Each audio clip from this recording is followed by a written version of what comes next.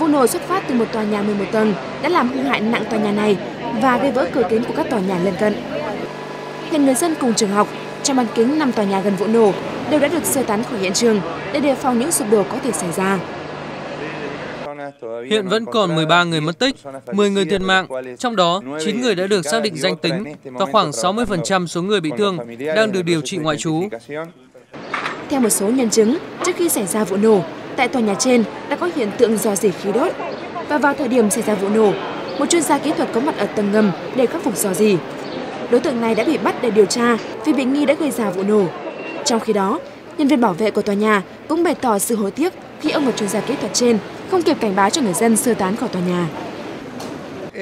Anh ta không có thời gian để cảnh báo và tôi cũng không kịp báo cho người dân rằng tòa nhà sắp nổ tung để cứu họ.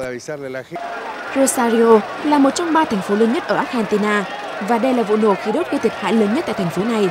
Các nhà chức trách không loại trừ số người tử vong sẽ gia tăng, bởi có thể vẫn còn có người nằm dưới đống đổ nát.